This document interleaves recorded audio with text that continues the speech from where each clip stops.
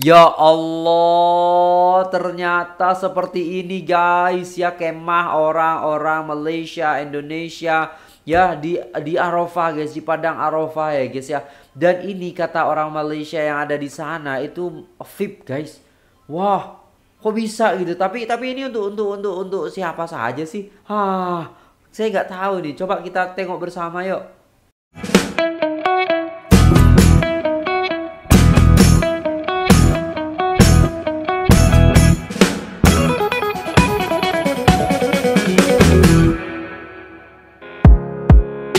Assalamualaikum warahmatullahi wabarakatuh. Jumpa lagi dengan saya guys Cak Mujib. Gimana kabar teman-teman semua? Semoga sehat selalu ya Dalam lindungan Allah subhanahu wa ta'ala. Dijauhkan dari segala mara bahaya Malapetaka bencana dan balak Serta berbagai macam penyakit. Amin amin ya rabbal alamin. Alright guys Kali ini kita akan reaksi sebuah video Yaitu Tentang info terupdate ya Di Arab Saudi. Bagaimana nih guys ya uh, Wukuf di Arafah? Maksudnya tempat ataupun padang Arafah itu sendiri Untuk jemaah-jemaah haji Di Malaysia, Indonesia Dan juga Arab Saudi Saudi Nah, kebetulan di sini ada sebuah vlog yang sangat-sangat bagus sekali dan menarik daripada Bang C Live guys ya.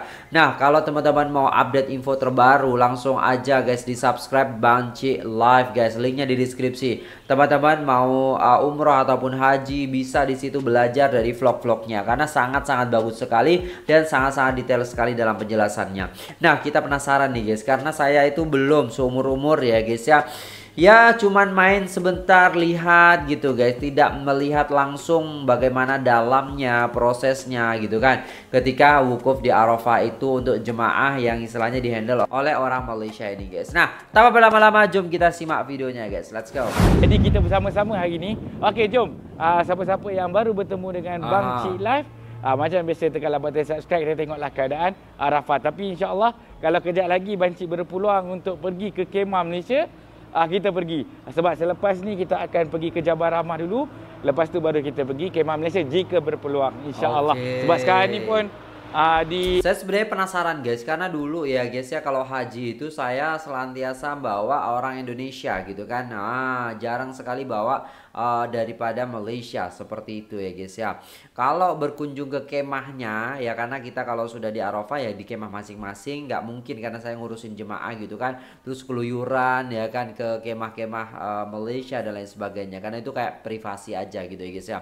Nah saya penasaran dengan fasilitasnya. Nah, gini guys ya, ternyata kita akan melihat hari ini itu uh, sharing daripada Bang C ya guys ya. Uh, bagaimana fasilitas yang ada di Arafah untuk jemaah Malaysia.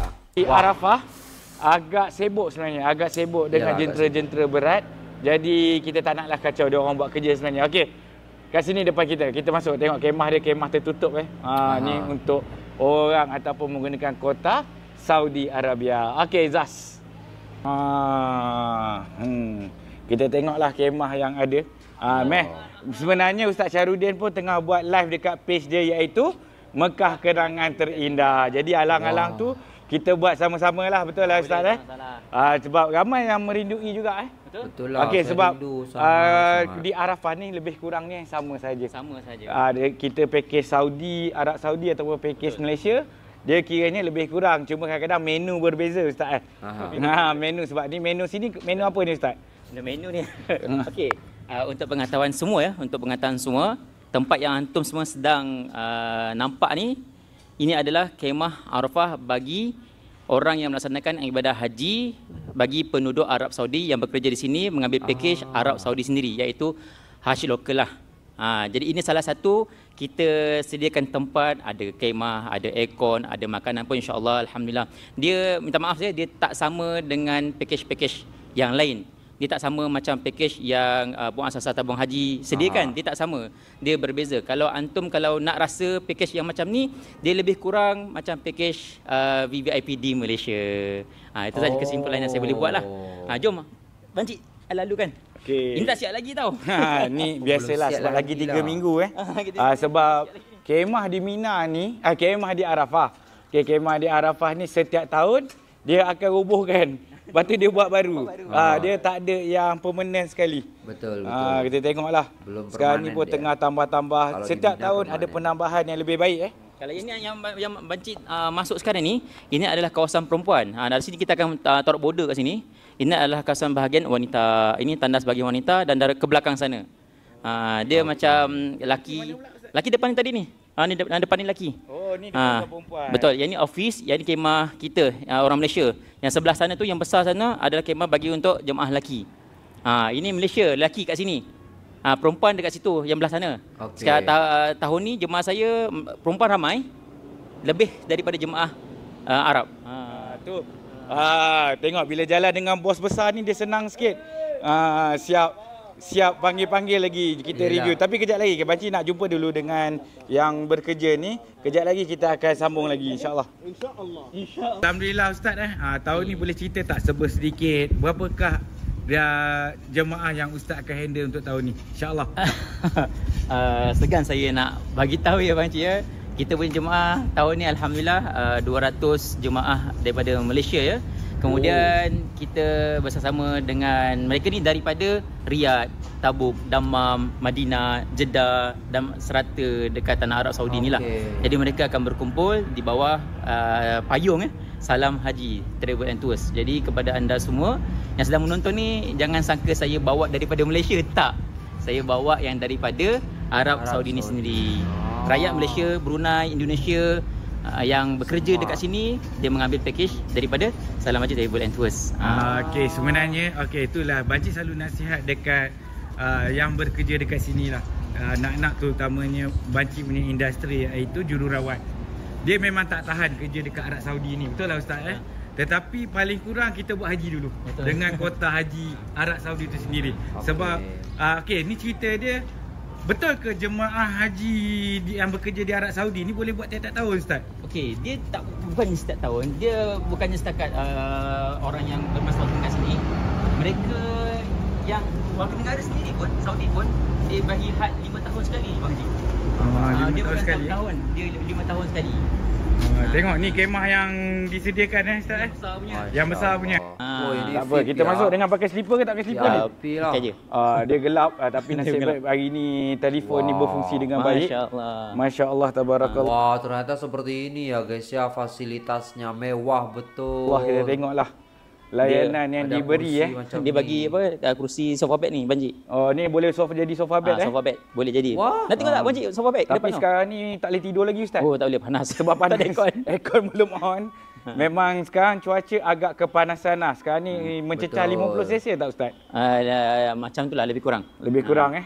Okey. Ah, kita tengok. Di, di, nanti kat sini uh, kalau kiblat, kiblat dia ke arah sana Banci. Okey. Ah, kiblat ke arah sana. Aha. Jadi kita akan arahkan jemaah kita. Memang Oh, kita ni susun cahaya, ni. cahaya tak lawa, tak Ah, lawa. tak lawa, tak lawa. Tak lawa. Okey, okey, okey, okey, okey. Macam ni. Okey, kebiasaan kita akan susun memanjang macam inilah, kiri kanan ber- berhadapan. Tapi bila kita dah sampai kita sarankan kepada jemaah untuk nak fokus menghadap kiblat lah. Ah, kiblat kita kat sana, mengarah ke sana. Jadi kita akan suruh dia orang uh, pusing sendiri kursi. Kalau sama ada nak baring-baring boleh, tak nak baring pun tak apa. Kita tengok. boleh jadikan bancik niak. Nampak ni? Orang yang Ah. berpengalaman bawa jemaah haji setiap tahun pakej Arab Saudi eh. Dah dah hafal lah kerusi Dah macam mana? dah kursi macam mana? Dekat sini kita akan bagi Wah. uh, bantal free, cadar, apa lagi uh, selimut free untuk mereka beristirahat sebelum masuk waktu zuhur. Kita akan masuk ke padang Arafah ni mungkin lebih kurang dalam pukul 8 waktu duha 8, 9. sampai kat sini kita akan bagi istirahat sampailah waktu zuhur. Mereka akan tidur rehat kemudian lepas zuhur mereka akan mulalah untuk beribadah kepada Allah Subhanahu Wa Taala. Okey. Masya Allah. Ni kiranya jemaah Ustaz Syarudin pun antara kebanyakannya 80% yang kali pertama buat haji ke macam mana? Ah, uh, yes 80%. 80%. Ada ada yang daripada tahun 2018 mereka repeat balik dengan salam haji alhamdulillah. Uh, mereka dah 5 tahun, mereka repeat balik daripada tahun 2018, mereka masuk balik ke, ke uh, sama-sama tim salam haji pada tahun 2024. Ha, kiranya Ah, Masya Allah. sebenarnya uh, apa ni yang batch-batch baru ni pun boleh tengok vlog ni eh untuk boleh. tengok lebih kurang. Tak ada masalah. Ha, tak ada masalah eh boleh jangan promo-promo eh, dekat jangan, Salam jangan Haji. lupa untuk anda semua like, follow uh, page ataupun YouTube Bang Cik Live. Ah, like sekarang. Ha, Okey. Jom. Ha, kita tengok dalam lagi. Kejap lagi kita masuk. Okey, kita tengok eh. Ha, dekat sini Bancik tengok sebab bagusnya pergi sebelum hari eh. Aha. Sebelum hari kejadian, Betul. kita boleh tengok macam mana dia orang set kapet ni ustaz. Hmm. Ha, jadi dia orang bukannya letak kapet atas pasir eh. Tak. Ah. Dia orang dia orang tindan dengan pasir dulu, dia orang ratakan kasih rata supaya batu bata uh, ataupun batu kecil tak ada. Kemudian kita lapik dengan ni kain, kain canvas baru kita lapik Okey. uh, dengan kain uh, Ah, kapet yang tebal lah. Kapet tebal ni lah.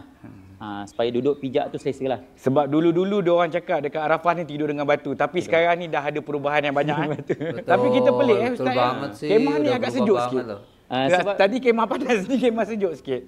ah, sebab ni kabel sebenarnya Itu mungkin macam kita tengok dua pintu masuk keluar masuk kan. Tapi sama je kot. Sama je kot. Ah, sama Tapi je. Yelah, ini sejuk Dia sikit. sejuk sikit walaupun tak ada aircon tapi Ah. dia rasa macam ventilation Ah, ataupun ventilation kemah dia dia bagus. sendiri lah. Ah, Okey, ni kalau yalah bila bila kena ingat ah, bila pada hari Arafah besok penempatan kat sini dalam kemah ni kira-kira berapa ustaz? Okey, untuk penempatan keseluruhannya yang antum semua sekarang uh, lihat ni dia lebih kurang daripada 550 jemaah. Ha, 550 pada dia punya kapasiti dia lah. Ha, macam macam kami uh, jemaah Asia uh, separuh daripada apa yang kami dapat lah.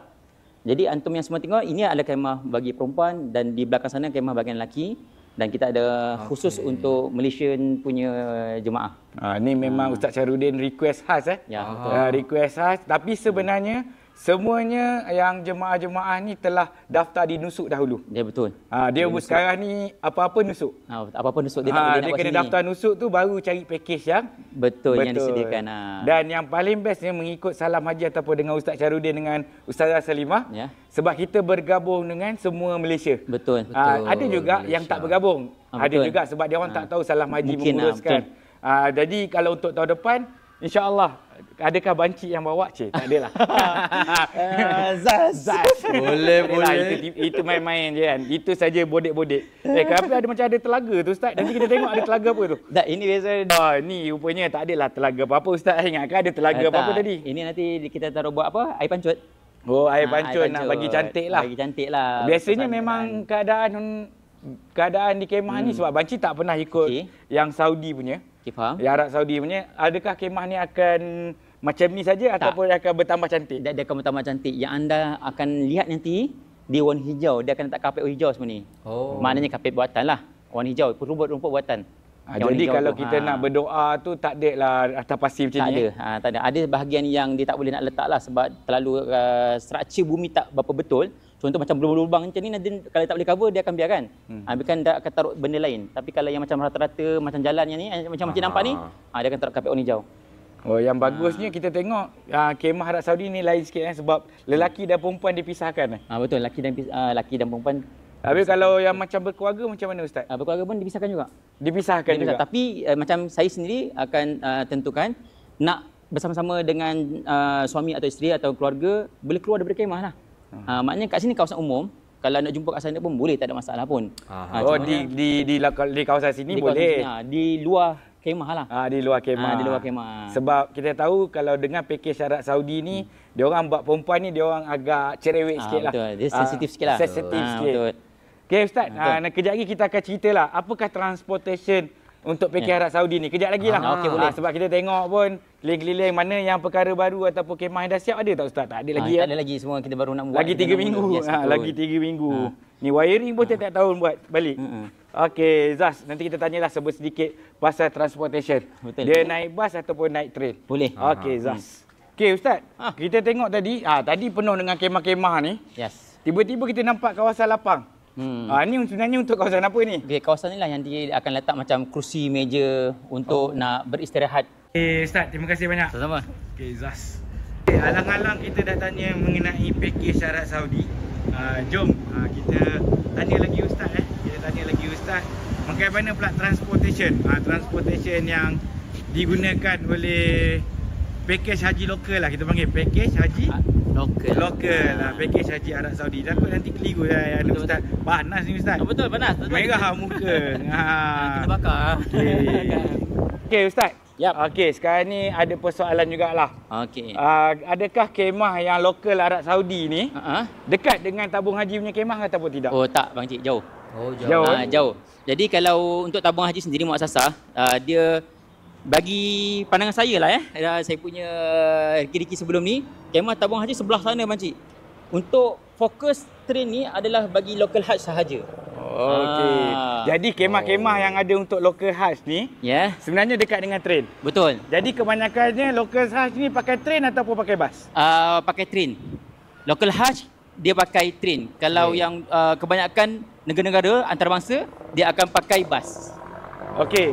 Ni lah kita saja lah tanya pengalaman ustaz naik train. Sebenarnya ustaz best ke naik train ke tak ustaz? uh, bagi saya naik train dia tak memenatkan tau sebenarnya. Tapi kalau naik bas sebenarnya dia makin lagi tunggu lama. Ha, sebab kalau bas dia jam. Betul. Kalau train, Train tak. dia jam dengan manusia tapi Ah, betul. dia punya uh, acceleration dia punya penyelenggaraan perjalanan haji tu dia lebih mudah untuk naik train sebenarnya Banci. Ah, tapi Ah. bukan semua orang lah boleh naik train. Bukan semua orang tapi boleh beli juga tiket train. Boleh beli eh? Boleh beli Banci. Ah, boleh beli dengan Ah. Palembang. Tak ada masalah dengan mana-mana travel muassasah dekat Arab Saudi ni. Okey, Ah. tapi agak tak ber... Sekejap, lori lah. Okey, agak tak berbaloi lah kalau kemah Malaysia agak jauh eh. Ha, Kemah Malaysia Tabung Haji agak jauh lah Banci. Jadi kalau beli tiket train pun macam tak tak berbaloi. boleh juga. Tak berbaloi sebab dia macam utara dan ya selatan. betul, betul. Okey, Zak. Alright guys, dah selesai videonya dan itulah tadi ya guys ya. Wow, itulah uh, padang Arafah sebelum menjelang hari wukuf Haji 2024. Oke, di situ kita bisa melihat ya guys ya betapa bagusnya ya guys ya tempat di Arafah itu dan kasurnya nggak seperti dulu. Dulu itu nggak gitu guys ya. Sekarang sudah bagus banget dan perbedaannya sangat-sangat signifikan sekali antara di tahun 2000 ya saya udah lama banget sih guys ya sudah berapa tahun ini ya kan sudah 8 7 tahun lah seperti itu uh, melaksanakan haji di tahun 2013 ya. Dan ya sampai sekarang 2024 udah jauh banget dan sekarang fasilitasnya wow super super keren. Apalagi dihususkan untuk kepada lokal atau uh, bisa dikatakan lokal Arab Saudi. Intinya adalah orang yang kerja di sana tapi juga ada dari Malaysia dari Indonesia dan lain sebagainya. Dan itu VIP banget guys ya. VVIP gitu kelasnya ya guys ya Hah, keren banget sih guys ya. Semoga lah kita bisa sampai ke sana di tahun-tahun depan. Semoga kita juga bisa uh, melaksanakan umroh ya teman-teman sekalian dan dipanggil oleh Allah Subhanahu wa taala. Amin amin ya rabbal alamin. Rindu guys ya dengan suasana Arafah, dengan suasana Mina. Allah. Ya Allah ya Allah, pengen banget ya bersama keluarga gitu ke sana. Doakan lagi sel, doakan kita doa bersama-sama. Semoga kita sampai uh, tahun-tahun akan datang ke Mekah Al Mukarramah dan juga Madinah Al Munawwarah untuk melaksanakan ibadah haji ataupun umroh. Amin. Oke, itu dulu videonya. Terima kasih sudah tengok video ini sampai selesai. Apabila ada salah kata mohon dimaafkan. Saya pamit undur diri. Wassalamualaikum warahmatullahi wabarakatuh.